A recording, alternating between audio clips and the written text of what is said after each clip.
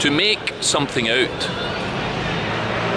To make something out is to decipher or recognize Alan? something. Alan, is that you? Uh, sorry, I'm, I'm doing a video just now. Please, please, Alan. A Can, can, can we go for an interview? No, I'm doing a, I'm doing a phrasal verb video at the moment. 77 phrasal verb, my favorite uh, YouTube channel, please. No, but I'm, I'm doing I'm doing a, I'm, I'm explaining a, I'm explaining a phrasal verb at the moment. Please, please, can we go for an interview, please? Please, Alan. I don't have any questions ready. Please, please, let's go. Please, you're my favorite YouTuber, please. Okay, okay, let me just give me a second. Thank you, Alan. What's your name? Alexander. Alexander. Okay, Alexander. Right. But do you know do you know any phrasal verbs?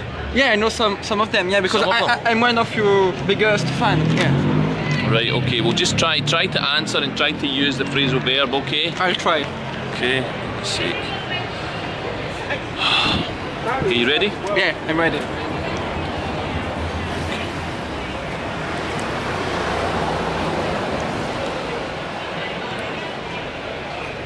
Hello. Hello. And welcome Thank you. to 77 phrasal verbs. This evening, I am interviewing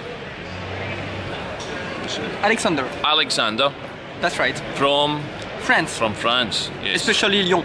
From Lyon, Okay. Okay, Alex. Here's your first question. Have you ever nodded off in a public place?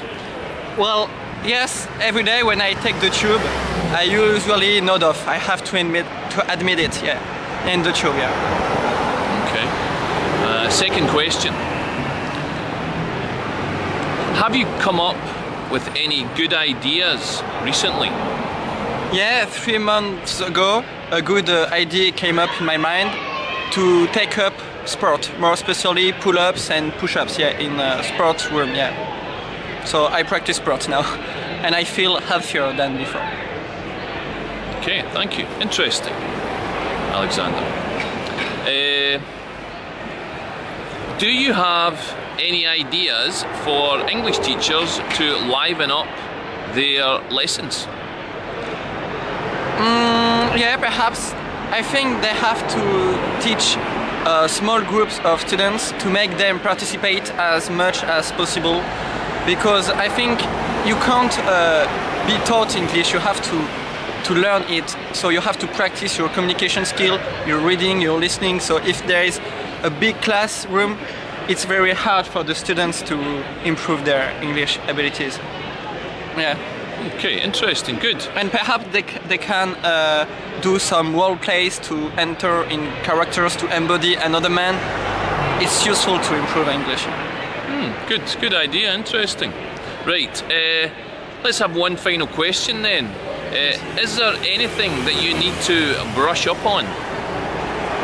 Yeah, the last few weeks I think I've improved my English abilities, but I still have some problems, uh, especially in my pronunciation. I think in- most cases people notice that I'm French, so I have to brush up on my pronunciation. Yeah, it's true. Alan. Okay, excellent. Well, uh, that's great then. Uh, thank you very much. Thank you. Uh, Alexander, thank you for talking to 77 phrasal verbs. Yeah, 70 phrasal verbs.